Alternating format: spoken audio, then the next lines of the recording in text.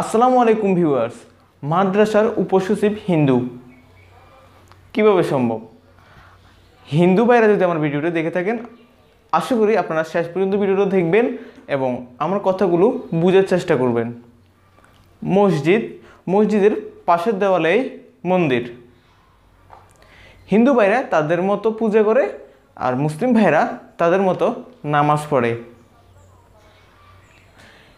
এখন আমি যদি বলি, তারা তাদের দুজনের জায়গায় স্থির থেকে তারা তাদের মতো পূজা করবে এবং তারা তাদের মতো তাদের তাদের পূজা, তাদের ইবাদত করবে। এতে কোনো সমস্যা নাই এবং সমস্যা হওয়ার কথাও না।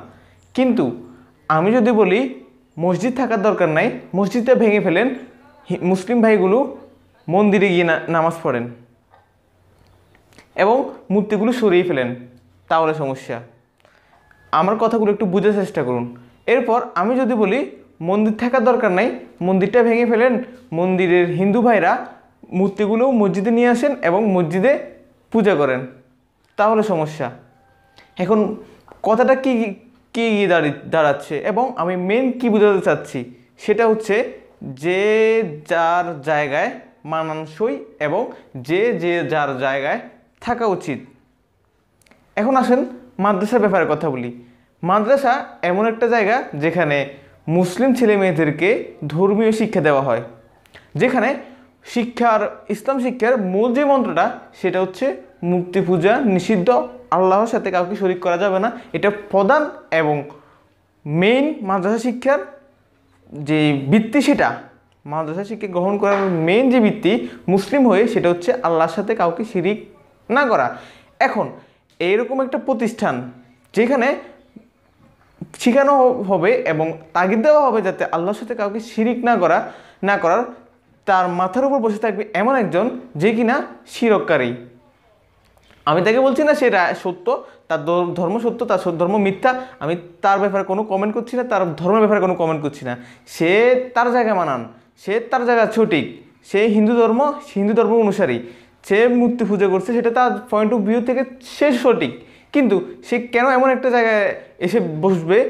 কেন এমন একটা গোষ্ঠীর মাথার উপর গিয়ে বসবে?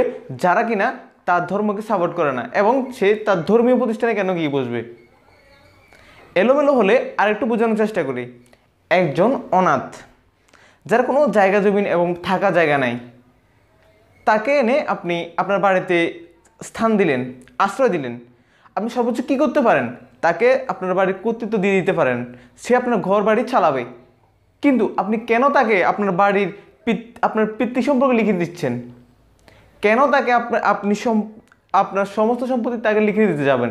এটা তো বোকামি রাইট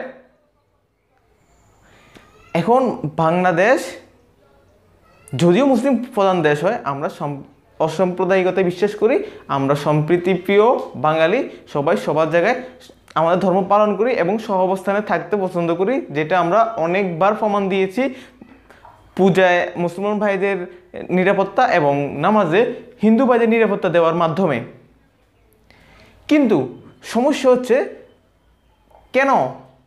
কেন এক, এমন একটা প্রতিষ্ঠান যেখানে গীতা পড়ানো হবে, তার তার প্রধান হবে একজন মুসলিম। কেন?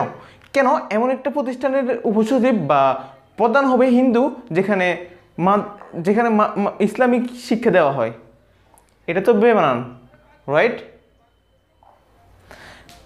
বলদ যদি হাল চাষ করে, সেটা সঠিক, কিন্তু আপনি যদি ছাগলকে দিয়ে হাল চাষ করান, সেটা তো সঠিক না।